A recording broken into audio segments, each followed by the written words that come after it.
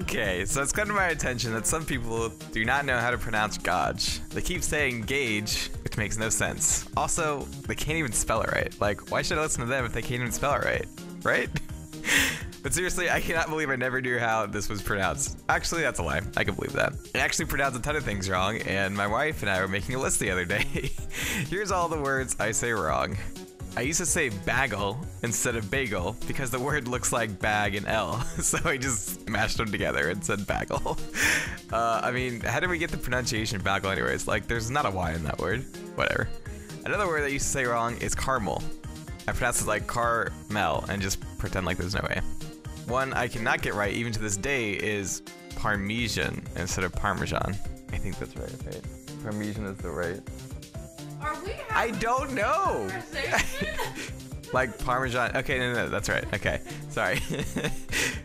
yeah, Parme Parmesan is wrong. Anyways, I pronounced that one wrong. I still don't know the right word, way to say that. um, and I also call Ars Arcanum. Arc. Man, I like confuse myself. I don't know what's right anymore. I, I also always call Ars Arcanum, Ars Arcanum, because it looks like like an arc, like ARC is pronounced arc.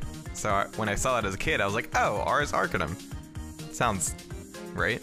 And then I like go on YouTube and everyone's like, Ars Arcanum, and I'm like, what the heck? Anyways, just thought I would give you guys some more words that I pronounce wrong so you can mock me with them. See you in the next video.